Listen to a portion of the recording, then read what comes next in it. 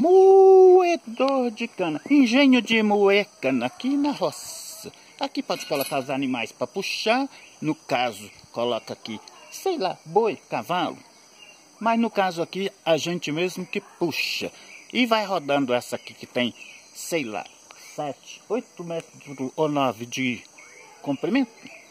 Para fazer rapadura, calda de cana, garapa, açúcar.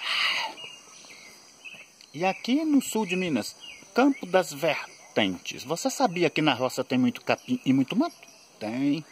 Natureza bonita. E lá no fundo a represa. Correu, correu.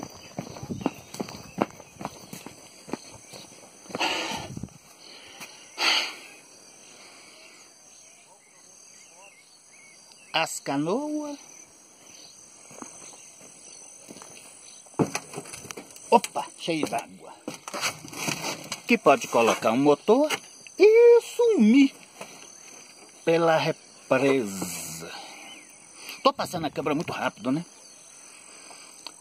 Tudo bonito aqui. As canoas cheias de água.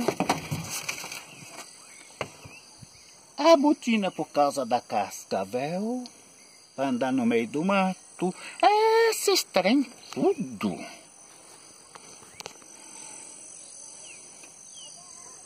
Tira a mão da frente da câmera. Valeu, gente. Muito obrigado.